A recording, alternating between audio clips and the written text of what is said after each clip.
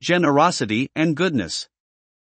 In boundless fields where kindness reigns, where hearts unite and love sustains, there blooms a flower, pure and bright, a beacon in the darkest night.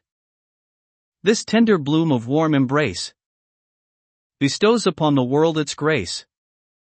With petals soft, in colors bold, the tales of generosity told.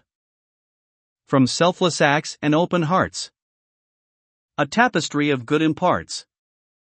The threads of kindness interlace to form a world of love's embrace. Through giving hands and open doors, with gentle words that heal life's sores.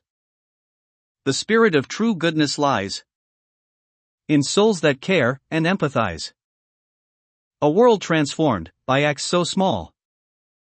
A whispered word, a loving call. The seed of goodness, now unfurled. A garden blooms to change the world. Student of the good life.